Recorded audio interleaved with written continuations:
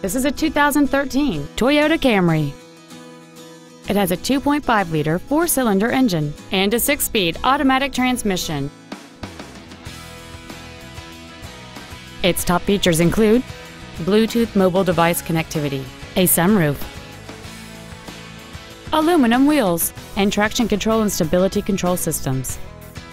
The following features are also included a low tire pressure indicator, a power driver's seat, cruise control, a CD player, a leather wrapped steering wheel, rear curtain airbags, latch ready child seat anchors, rear seat child proof door locks, a pass through rear seat, and this vehicle has fewer than 3,000 miles on the odometer.